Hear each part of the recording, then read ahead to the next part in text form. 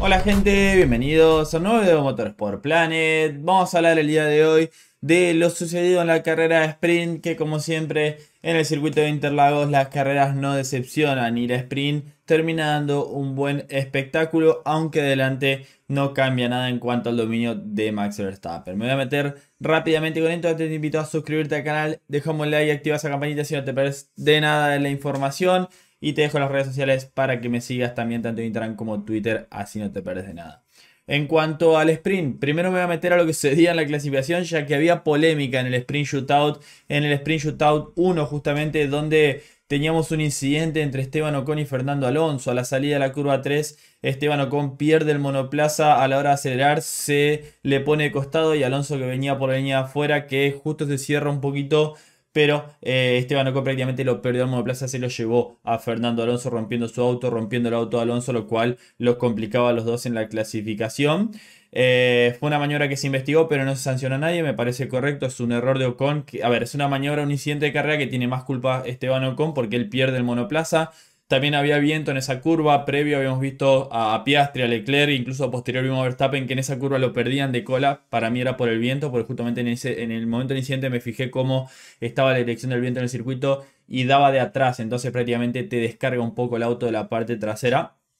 Y creo que eso, más la corrección, se va ancho. Esteban Ocon y termina impactando contra Alonso. Si él puede hacer la línea de manera correcta, me parece que no iba a pasar nada. Pero es un incidente de carrera y me parece que es una buena decisión el tema de que no hayan penalizado. Como digo, ya los afectaba ¿no? para la clasificación, largaban atrás. Y en cuanto al sprint, ya metiéndome la largada en la pole de Norris, en la gran vuelta de Checo Pérez que lo hacía con neumáticos eh, usados comparado con su compañero equipo que iba con nuevos para la clasificación y quedaba ahí muy cerquita. Así que todo predisponía a eh, un buen ritmo, sobre todo de los Red Bull, y ver qué es lo que podía hacer Norris y los podía aguantar. En la largada teníamos a los Alfa Tauri y a los Alfa Romeo que iban con blando nuevo, a los Haas que iban con medio eh, usado, mientras que Sargent lo hacía con un nuevo y el resto iba todos con blandos usados. En la largada, a ver, fue una buena largada de Verstappen, fue una buena largada de Norris, reaccionó más rápido al semáforo que Verstappen, pero en la segunda fase de la largada lo terminó superando el Red Bull de Max Verstappen. Eh, Lando Norris dice que no entendió qué pasó en ese momento, porque como digo, había reaccionado bien al semáforo, pero después se queda un poquito en la segunda fase de la largada y le terminó costando la primera posición ya en la primera curva. Mientras que por detrás Sergio Pérez perdía posición con eh, Joe Russell y con Lewis Hamilton, que lo terminaba superando con una muy buena maniobra, llegando a la curva 4 Lewis Hamilton por fuera, pero eh, después los Mercedes iban a complicar. En cuanto a los equipos, el equipo William, vigésimo Sargent, que hizo un medio nuevo, mientras que Albon terminó decimoquinto. Sufre mucho el equipo Williams en este circuito, incluso Albon reportaba por la radio cuando venía detrás de Valtteri Bottas que venía perdiendo aceite, pero no tiene para más. El equipo Williams está muy complicado en este circuito y va a ser muy difícil de que puedan sumar puntos. Alfa Romeo y Haas prácticamente la misma situación. Alfa Romeo eh, largó con el blando nuevo, como dijimos, y no terminó afectando prácticamente en nada, como sí lo haría con Alfa Tauri, que después lo voy a hablar. Y por el otro lado, el equipo Haas largó con un medio eh, usado. Me daba la sensación de que el tema de la degradación les preocupaba. ¿no? El único equipo, además de, de Sargent, que utilizó el neumático medio, justamente enfocándose en la gran degradación que tiene ese auto del equipo norteamericano y que así todo en cuanto al ritmo no pudieron sacar ventajas, sobre todo en la parte final de ese neumático. No terminó cambiando en nada para el equipo Haas, que seguramente van a sufrir también el día domingo.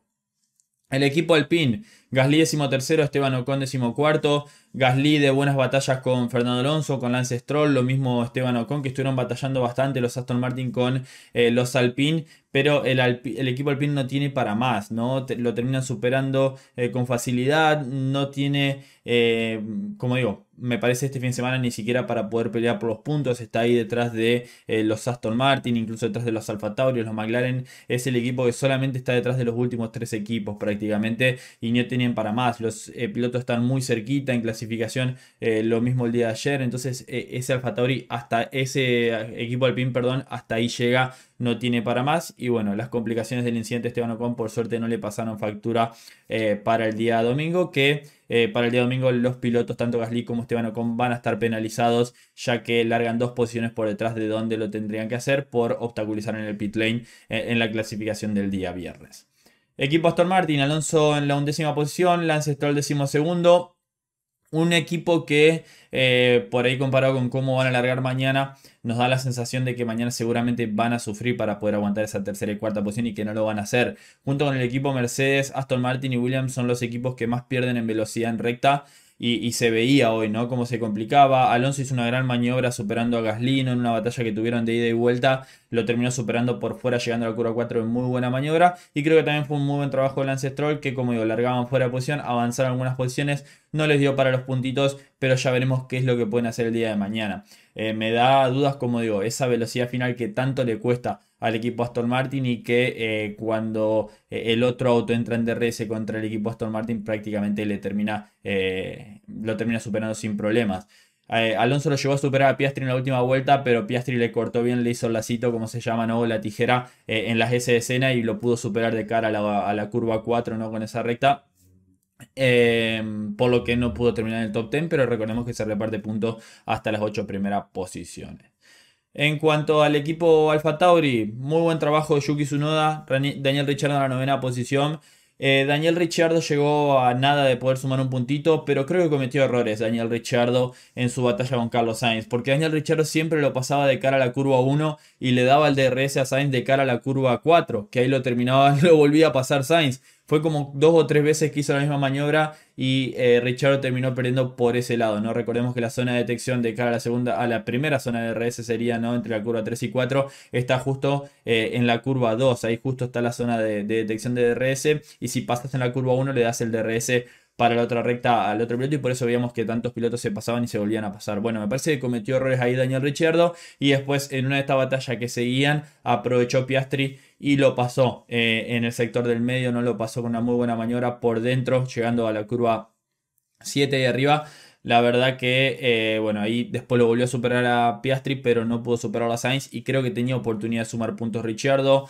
Eh, como sí lo hizo su compañero de equipo. Los dos Alfa largaron con un neumático blando nuevo, tenían ventaja con respecto a los otros equipos que estaban ahí. Eh, Sunoda de muy buen trabajo, creo yo. Fue paciente el día de hoy. Esos errores que le recalcamos el día eh, domingo en México no los vimos hoy. Incluso tuvo por momentos para arriesgar un poquito más con Hamilton cuando iba a la par, cuando lo podía pasar. Y se guardó, se, eh, cuidó y después lo decidió pasar de una mejor maniobra. Así que me parece que eh, el día de hoy Sunoda hizo una muy buena carrera. Terminó nada de poder superar a Charles Leclerc. Puntos importantes para el Tauri que le sirven mucho ¿no? en esa carrera contra el equipo William para seguir descontándole. Entonces es un muy buen trabajo del japonés que como digo, hoy se le vio una muy buena carrera, una muy buena clasificación, paciente, eligiendo los momentos para superar con quién batallar, con quién no. Así que fenomenal trabajo de Yuki que lleva una sexta posición y veremos ya qué es lo que puede hacer el día de mañana, aunque está más complicado el Fatori que larga de más atrás. El equipo Ferrari, tenemos a Carlos Sainz en la octava posición, a Charles Leclerc en la quinta posición. Daba la sensación que al principio de la carrera se quedaban rápidamente sin neumáticos, pero me parece que era más un trabajo de gestión de Ferrari para poder llegar hasta el final y que al final por ahí presionaron y eso le sirvió, por ejemplo, a Charles Leclerc para superar a Hamilton y aguantar a su noda y a Sainz que quedó ahí nomás de, de Lewis Hamilton, ¿no? Que quedó en la octava posición a cuatro décimas de Hamilton, pero no tenía para más. Ferrari, si bien tiene una buena velocidad final, eh, la verdad que la gestión de neumáticos es lo que deja duda. Para mí cuidaron de más al principio de la carrera, después pudieron presionar a lo último un poquito, pero no da buena sensación de cara al día domingo. Ya veremos qué es lo que tienen, aunque Ferrari me parece que no tiene mucho más. Eh, aprovecharon que Hamilton se cayó en cuanto al ritmo y eso le dio una posición más a Leclerc, que lo pudo aguantar a Yuki Tsunoda pero no es lo ideal para el equipo Ferrari estar batallando eh, con un Alfa Tauri. ¿no? Habla obviamente muy bien del trabajo Alfa Tauri, pero de que Ferrari está eh, lejos del resto, aunque en cuanto a la gestión me parece que hicieron un mejor trabajo del sprint de lo que hizo el equipo Mercedes. Y justamente voy a hablar de eso. Arrancó muy fuerte el equipo Mercedes con Lewis Hamilton con una muy buena largada que llegó a colocarse detrás de su compañero equipo en la cuarta posición. Después no lo pudo aguantar Sergio Pérez. La diferencia entre el Red Bull y el Mercedes es abismal. los Mercedes se arrastran prácticamente en la recta, no pueden hacer nada. Eh, incluso cuando tienen DRS los pasan como contramano también si el de atrás tiene DRS. Y eso van a tener que trabajar para el día domingo. Creo que con esto apuestan a la gestión de neumáticos, pero se vio hoy que la gestión de neumáticos no era el fuerte. Hamilton se devoró los neumáticos blandos, sobre todo en la segunda parte de, la sprint. Y eso le terminó costando la quinta posición con Leclerc y la sexta posición con Sunoda y algunos puntitos en, la batalla con el subcampeonato con Sergio Pérez. Russell tenía una ventaja amplia con Leclerc eh, de, más de, de, más de esos dos segundos y medio donde llegó. O sea, sobre el final también le descontaron a Russell. Pero sin duda Russell lo reportaba por radio, ¿no? No le podemos pelear a los, tipos que están adelante, decía, hablando de los Red Bull y del McLaren de Norris, y creo que la cuarta posición era lo máximo a lo que podía aspirar Russell, que hizo una muy buena largada, que por momentos lo pasó a Norris, se llegó a colocar en la segunda posición, pero que no lo pudo aguantar una vez que el McLaren entró en DRS, lo pasó con facilidad. Así que mucho trabajo para hacer para el equipo Mercedes que eh, se deben llevar un poquito las manos a la cabeza el día de hoy con la gestión del neumático y veremos ya mañana con lo que sería el fuerte del equipo Mercedes, ¿no? Que es cómo exprimen ese neumático medio. Creo que el comportamiento del auto del equipo Mercedes con el blando no es el óptimo y con el neumático medio ya le pueden sacar un extra, pero se espera que en la carrera tengan que utilizar igualmente el neumático blando el equipo McLaren, Piastri en la décima posición, complicado en la clasificación, cometió un error eh, llegando a la última curva en su vuelta rápida, si bien estaba con neumático usado comparado con su compañero equipo que estaba con nuevos, podría haber avanzado algunas más posiciones en la clasificación y eso le llevó a la de de la décima posición y eh, se marca la diferencia ¿no? entre su compañero equipo que conoce el circuito, ¿no? el poco tiempo de trabajo que tuvieron el fin de semana, bueno, las complicaciones en la clasificación para Oscar Piastri, que eh, por momento estuvo batallando ahí, superó a Richard, pero lo volvieron a superar, no tenía para más se daba la que no estaba cómodo como si lo estaba su compañero de equipo, eh, trencitos de DRS en los cuales se metía que era muy difícil avanzar, pero eh, no llegó a sumar puntitos quien había ganado obviamente la sprint de Qatar. En cuanto a su compañero equipo, Lando Norris, buen trabajo de Lando, como digo, eh, el tema de la largada que reaccionó bien, pero tuvo un problema en la segunda fase que por algo le marcó más diferencia de Verstappen, ya de cara a la curva 1 le había ganado la cuerda y no podía arriesgar de más. Fue superado por Russell, como digo, pero después lo superó con una muy buena maniobra rápidamente cuando se activó el DRS y después se dedicó a gestionar, no tenía más que hacer. Por el momento estaba un segundo, un segundo y medio de Verstappen, pero en las últimas 3-4 vueltas Max Verstappen le sacó, eh, le amplió bastante la diferencia ¿no? para llegar a 4.2 segundos. Puntos importantes para Lando, eh, pero se le escapa otra vez esa posibilidad ¿no? de llevarse aunque sea una victoria en la sprint. Ya veremos para el día domingo que larga desde la sexta posición por la penalización de Russell, su compañero lo hará desde la décima. Así que veremos. En cuanto a ritmo, me da la sensación de que puede pelear por el podio. Tiene un auto para avanzar, eh, pero también tiene autos fuertes por ahí cerca, como lo es Sergio Pérez que viene detrás de él. Así que va a ser muy, muy interesante. No me extrañaría que el día de mañana se repita este podio de Verstappen Norris Pérez. Justamente hablando del equipo Red Bull, Sergio Pérez tercero, Max Verstappen primero. Eh, Checo tuvo una buena clasificación, como dije, con neumático usado contra el neumático nuevo de Verstappen, quedó a 7 a siete, mm, centésimas de su compañero de equipo.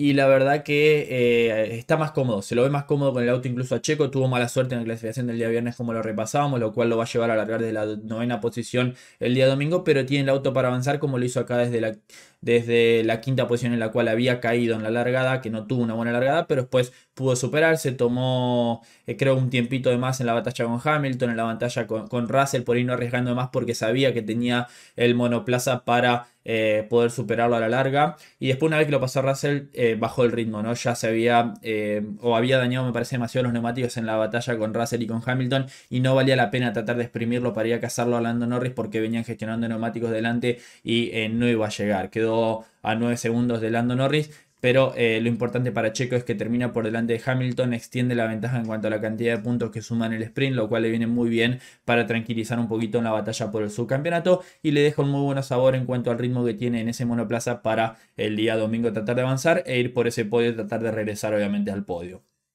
Su compañero de equipo, eh, no hay mucho que decir de Verstappen, prácticamente lo que tiene a hacer siempre. Incluso en la primera curva ya tomó la primera posición y después se dedicó a gestionar. No tenía mucho más que hacer Max, incluso por ahí por la radio hablaba de que si presionaban o no, por ahí pendiente del tema de la gestión. Pero nos da el indicio de qué es lo que puede pasar mañana, ¿no? Donde pase primero la primera curva y no tenga inconvenientes, va a ser prácticamente un paseo para Max Verstappen que eh, se lo ve cómodo. Incluso el ritmo de su última vuelta fue tres décimas más lento que eh, su vuelta más rápida de la carrera. Entonces habla de que tenía resto con ese Red Bull en cuanto a la gestión del neumático blando. Y bueno, gana otro sprint, sigue sumando puntos eh, y es el principal candidato a quedarse con todo este fin de semana y también en, las carreras que quedan. Obviamente no hay nadie que pare a Max Verstappen, que por ahí pensamos por ahí Norris una o dos vueltas le puede hacer eh, diferencia, pero la verdad que los Red Bull son un cohete. La velocidad final que tienen es tremenda, ¿no? una vez que abren el DRS marcan la diferencia. Así que como no me sorprendería que mañana veamos un podio eh, similar a esto si eh, Checo y Lando no tienen inconveniente en la largada, porque el ritmo para ir para adelante lo tienen. Cierro por acá con el resumen de la sprint. La verdad que como una de las sprints más entretenidas de lo que va del año, porque bueno, creo que eso se debe al circuito en el cual estamos disputando, ¿no? Como es Interlago que siempre da carreras entretenidas, sean los autos que sean. Por ahí no tanto en la lucha por delante como fue el año pasado, pero sí sobre todo en la zona media se armaron bastante batallas. Fue una carrera, como dice Max, que por ahí no tiene mucho sentido porque lo único que tienen que hacer es gestionar neumático que ni siquiera pueden presionar. Pero esos son las sprints y esa es la Fórmula 1 que tenemos hoy en día. Suscríbete al canal, deja me gusta y nos vemos en el próximo video de Motores por Planet. Adiós.